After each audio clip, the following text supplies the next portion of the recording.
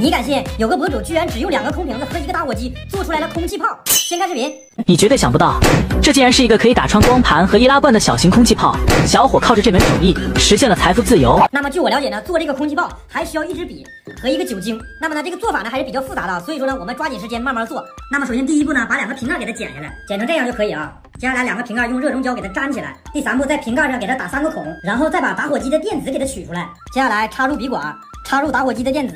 再把引线插入这个小洞当中，最后再进行一遍密封，最后再装入一个狮子纸团。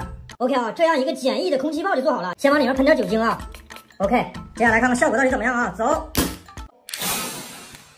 我去，哇，看到没有？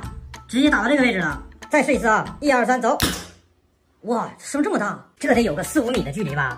哦，这个是我根据刚才的方法啊，做出了一个超大号的空气炮。咱们试试这个的威力到底怎么样。别眨眼啊！一二三，哦，再来一炮！